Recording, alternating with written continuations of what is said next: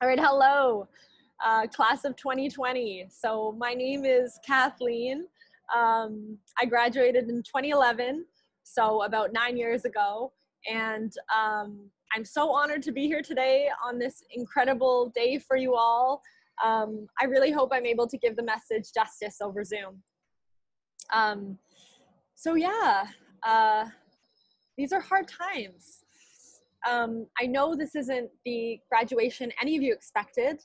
I thought a lot about the message I wanted to deliver today, and in fact, I rewrote it a couple of times. I've listened to a number of commencement addresses in the past, but none of them really tell you how to face what the world is currently going through. That aside, I feel extremely lucky to be addressing an audience of women. Um, and more importantly than that, women I feel like I know. I know the teachers that played a part in raising you, uh, they played a part in raising me. Um, and we share memories of the halls where you've spent much of your life so far.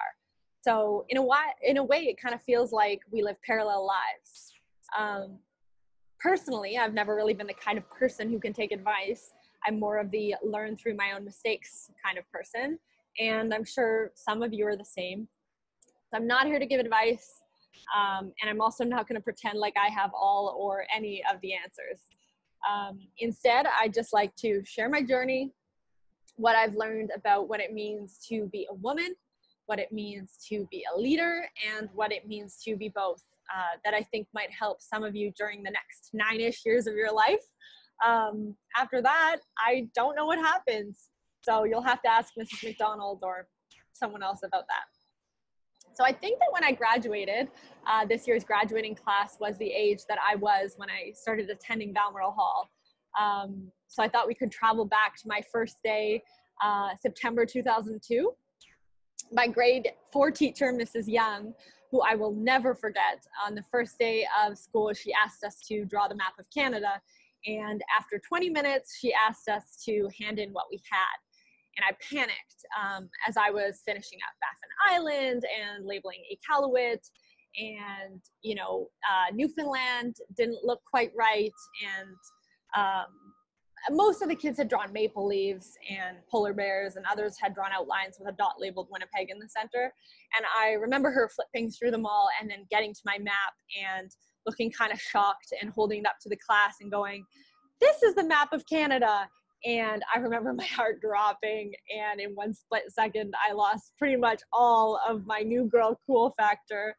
Um, and it got better. You know, later that fall, I sewed myself one of the ugliest hat and scarf combos you have ever seen like big, hairy, scruffy brown wool, holes in it, pom poms. Bless my mother for literally never judging me because I was so proud that I wore it every single day. And Mrs. Young told me she loved it. So I made her a matching set for Christmas and then we both wore them every day. um, I played on every sports team, uh, but I was pretty much the worst player on every team. Um, I did every single musical, even though I was uh, too shy to ever play any serious roles. My voice would just kind of like crack in the middle of my auditions. Um, but I do remember for the musical Cats, I was Macavity. And when the costume designer was uh, measuring me, uh, I think I might have been dancing around or something. And I remember him saying, Katie Eva, you really dance to the beat of your own drum, don't you? And I remember thinking, oh crap, I must need to practice my choreography a bit more. But I eventually realized that's not what he meant. Um, although that's also probably what he meant. so, needless to say, I was a bit of a geek um, and a little bit eccentric for sure. Um, but did I see myself as a leader? Um, honestly, no. And uh, not when I was elected school captain, and not when I brought juice boxes to parties, and not when I took every single advanced placement school or class the school had just because I was interested in them. And I've thought a lot about why, you know, I didn't see myself as a leader. But what is a leader anyway? Um, throughout history, they have been generals, kings, uh, presidents, and more recently, uh, founders and CEOs. ambitious, confident, decisive, powerful, strong, stoic risk takers, right? Uh, hold that thought. I'm going to steal a story from a memorable commencement address I read once. Uh, this is Water by David Foster Wallace. And my version goes like this. So, two graduating Balmoral Hall fishies are swimming along and they pass a graduate from almost 10 years ago. Still cannot believe it has really been that long. Uh, and she looks at them and says, Hey girls, how's the water? And the fishies keep swimming until one of them looks at the other and says, what is water?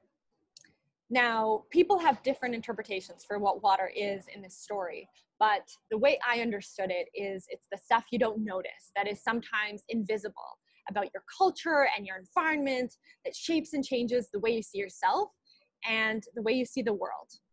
And this water is different for everyone, but for me, it went a bit like this. So I grew up with a stay at home mom, and at BH, a lot of my friends did. Some of the people I respected the most in the world were brilliant, educated, career oriented women who, who gave that up to raise a family. And there is absolutely nothing wrong with that. I feel so grateful for the childhood I had with my mother. Many of you will choose to have a career earlier on, but eventually dedicate your lives to raising a family. And this is a great choice if it's the right choice for you. But I didn't really see it as a choice. You know, without even noticing, I think I tried to think about the kind of career I could have that also worked with having a family, which in retrospect felt a bit like trying to force a dancing donkey inside of a mitt. Um, although I was encouraged that women could be anything and that I should think about my career, at the same time, I couldn't ignore the messages I was receiving about the value of women and therefore myself in society you know, Instagram feeds full of photoshopped women that all of us validate. Uh, the way we talk about how girls look, even as women, as if that should mean anything about who they are. Uh, you know, how women are told they're too emotional or too naive for business. I think the first time I was told that I was 12. Um, why do we raise women to be nice and follow the rules and tell boys the opposite isn't only okay, it's a good thing? What about finding a partner or getting married? Why is there so much pressure for women as if it somehow puts our value into question if we either choose to delay it or, God forbid, don't choose it at all? And I grew up reading almanacs and science magazines, interested in pretty much everything.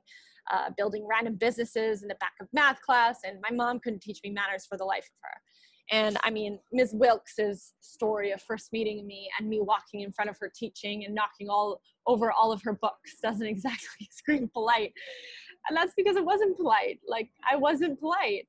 Um, so, as much as I was already defying many of the norms for young girls, I didn't feel confident that I was meant to defy them completely. Um, and in the, and I'll put her quotes, uh, man's world I wanted to fit into one of my characteristics didn't really belong. And that was my empathy. Um, it made me feel a lot of shame as if it was somehow a weakness, as if caring about others would somehow hinder my success. But like, I cared a lot. Now I'm not afraid of it, and I know it is my biggest strength. But the thing I wish I knew then, and I want you to know now, is that there is no right way to be a woman to many women I have met, finding our truest selves is not a question of ambition versus empathy, but finding a way to choose both. Um, and you know, I went through a rough patch after I graduated. I I I didn't really know who I was.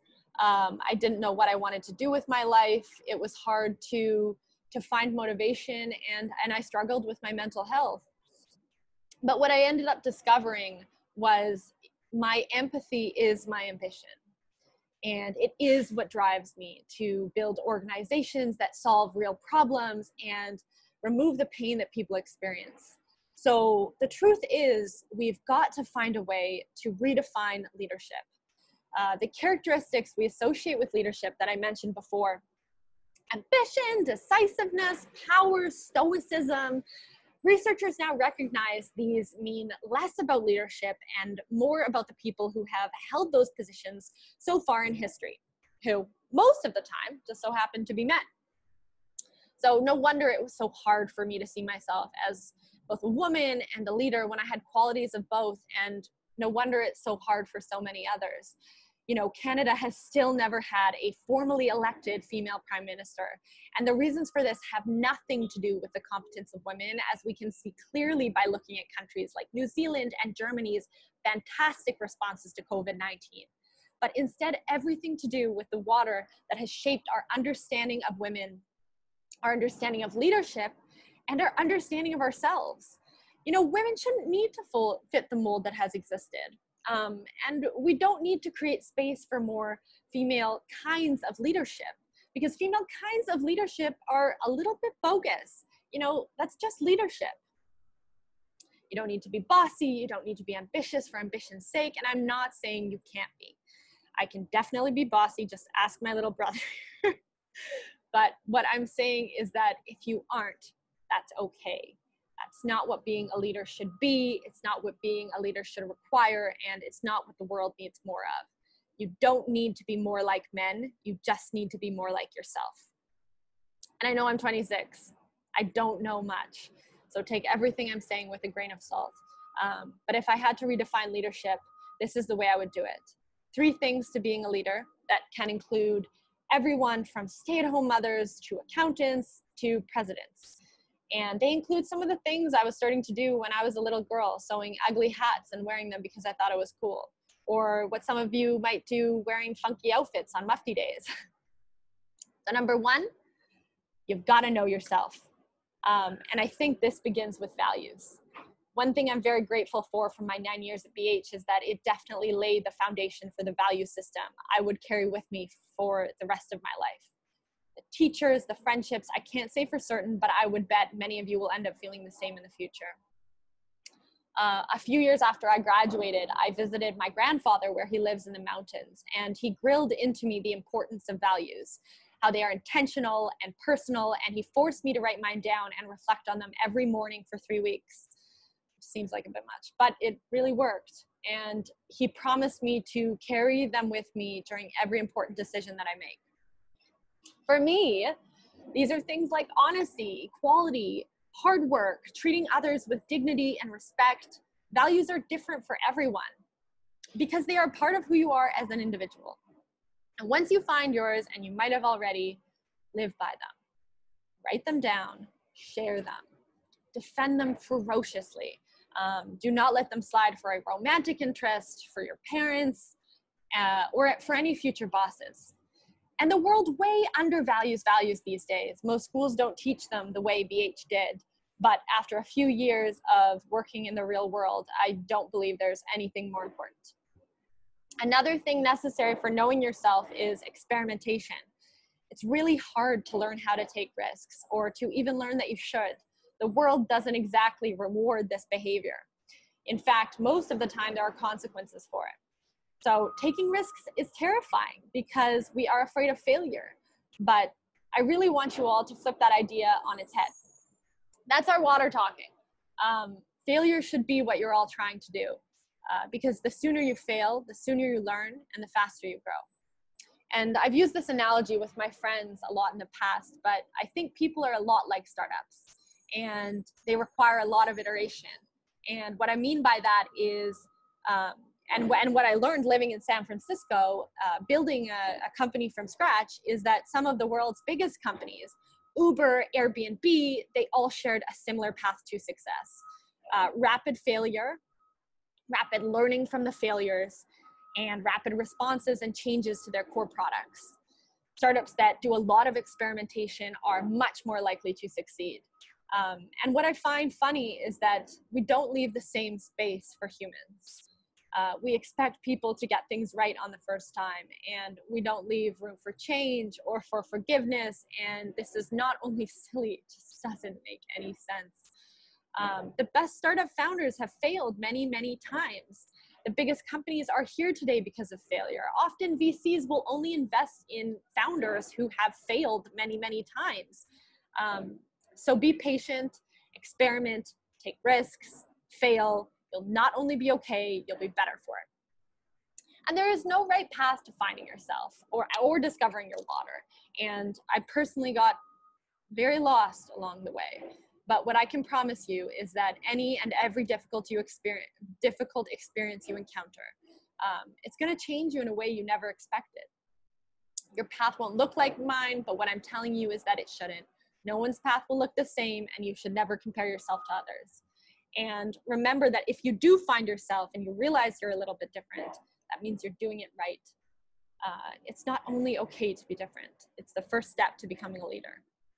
Adam Grant, a famous psychologist from Wharton who I love, says in his book Originals that there are two ways to find success. Uh, one is to compete in society and be better than everyone else at it. And this is actually super hard to do in a world with billions of super accomplished, really intelligent, amazing people.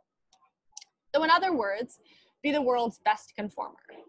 Um, but there's another way, and that's to be an original.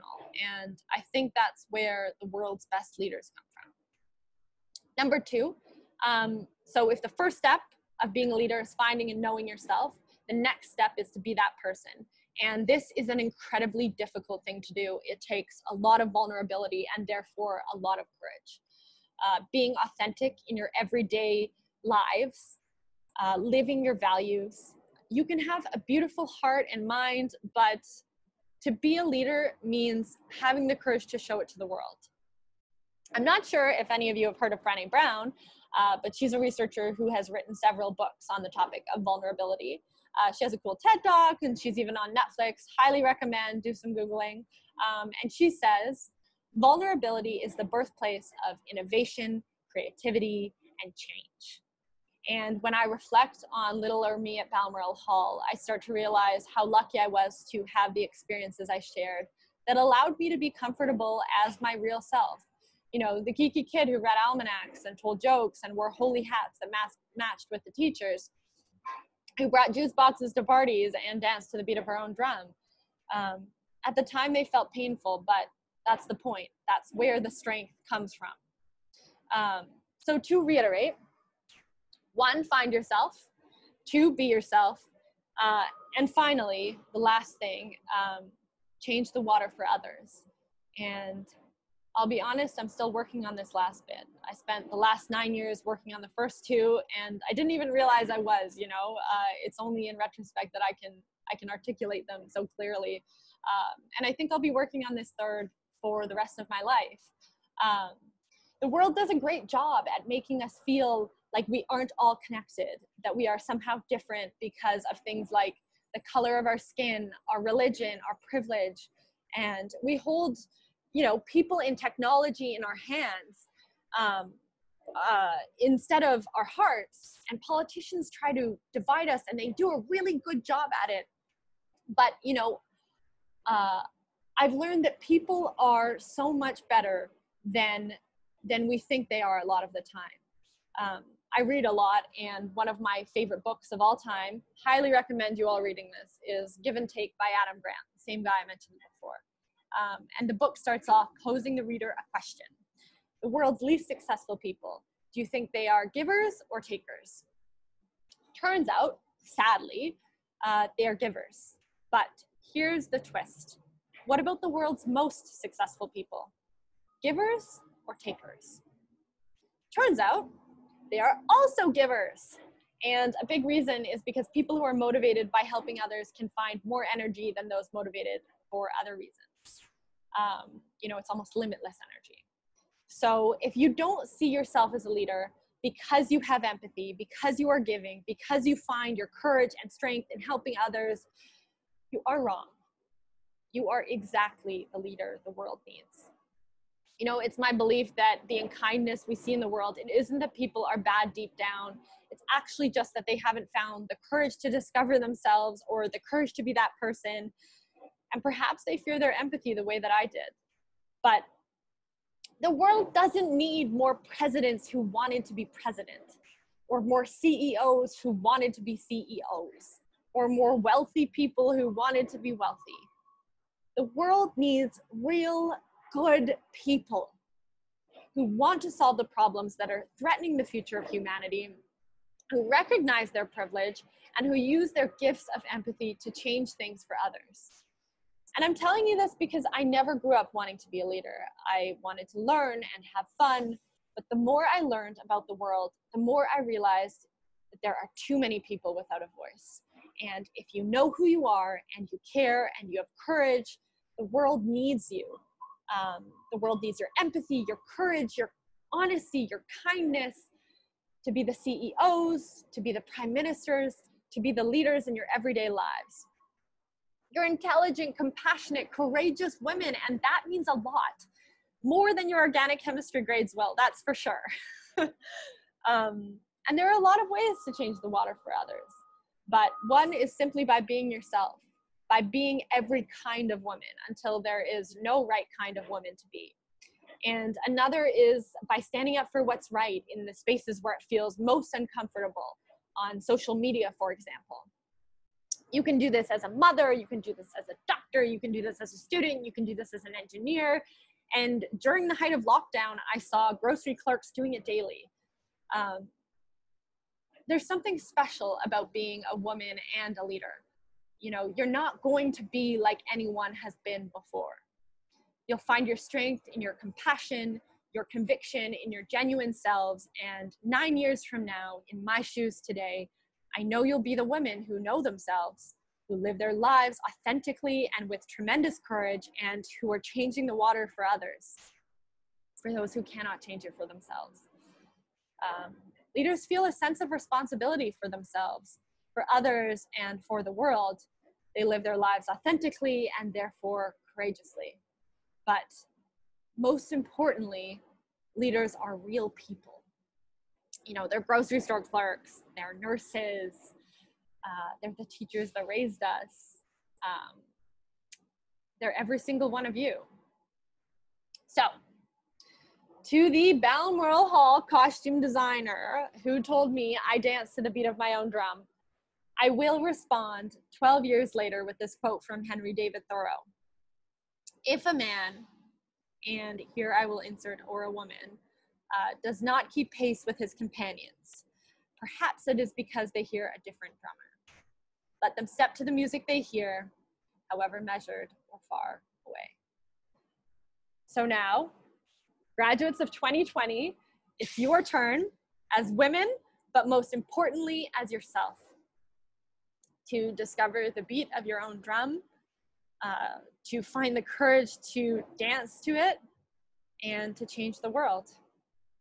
The water is waiting. Thank you.